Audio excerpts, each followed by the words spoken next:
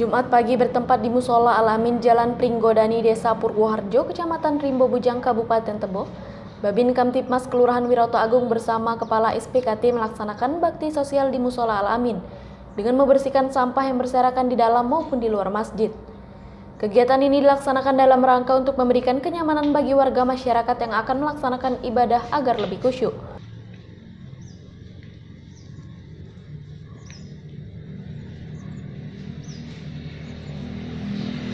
Dari Jambi, Bribka Syamsul Ma'arif Kanit Bin Polmas Polres Tebo, Salam Tribrata.